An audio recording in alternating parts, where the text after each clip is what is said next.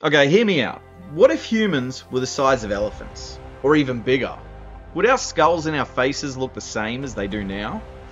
The science says that this is unlikely.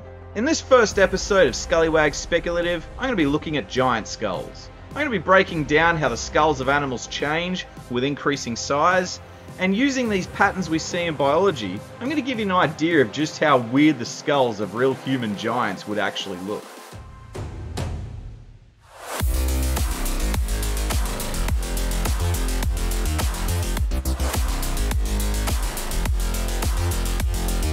Dr. Rex here. Welcome to the Skullywag Lab, where I present the bare bones fundamentals of skull science. Giants can be seen all through mythology, religious texts, fantasy, and folklore. Some believe giants once existed, and there's no shortage of pictures online claiming to show the dug up remains of some gigantic human like skeleton from a time lost to the ages. But if giants really existed, the patterns we see in the animals all around us today suggest that their skulls would look very different. Let me explain. The skulls of most animals change with size in often predictable ways. Patterns of shape change that happen with changes in size are known as allometry. There's a few obvious examples of allometry that would fundamentally change the appearance of any giant species of human. The most obvious of these is brain size. There's a tendency for brains to be relatively smaller in larger animals. This pattern is known as Haller's rule. This is a nice image from a classic Leonard Radinsky paper showing the different brain sizes of small dogs and cats and large dogs and cats. Now the brains of the larger dog and cat are definitely bigger than the brains of the smaller ones, but they're smaller in proportion to the rest of the skull.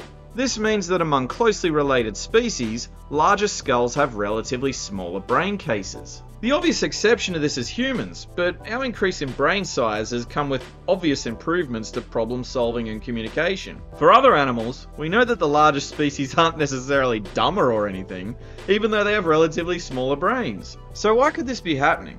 Well, the brain is one of the most complex things around, and there's no crystal clear answer to explain the patterns we see. But regardless of the reasons, Haller's rule means that if enormous human like giants existed, they'd probably have much smaller brains. In fact, for a giant to have a brain proportionally similar to ours, they'd have to be thinking, communicating, and generally doing things in ways that are far more complex than what we're capable of. This is based on an idea called the principle of proper mass, which essentially suggests that the relative size of the brain might be related to the complexity of behaviours. Now for the next pattern, let's take a look at the skull of a real giant among us, the elephant.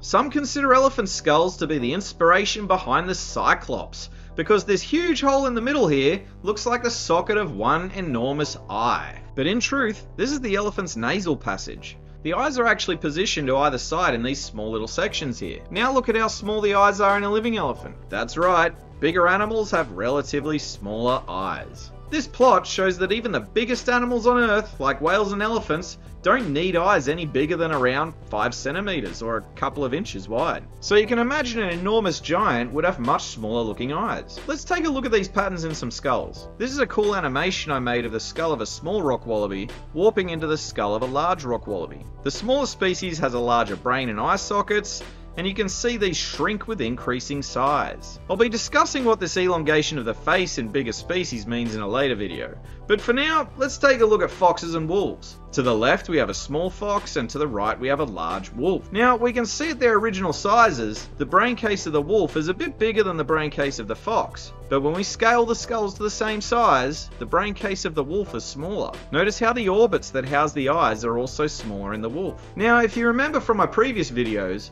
the temporalis muscle is connected to the brain case. But a smaller brain case means there's less area for the temporalis to attach to. So another interesting feature of larger animals is that they sometimes have what's called a sagittal crest along the midline of the brain case. This gives a larger attachment area for the muscles.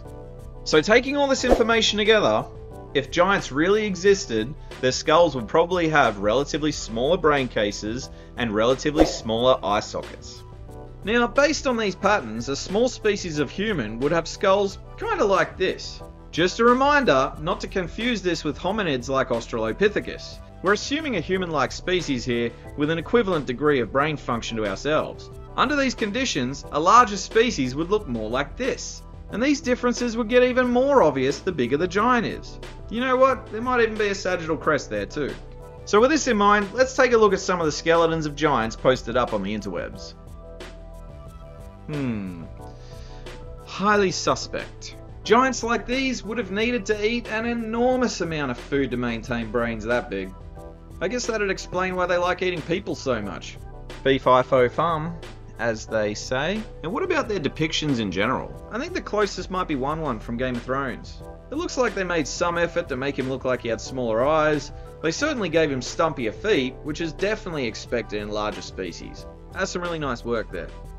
So if you're wondering what you might look like as a giant, well, I took these patterns I've just described to you and uh, took a stab at turning myself into one. Here's me at normal size, and here's me at around 5 meters tall. Look at that handsome fella.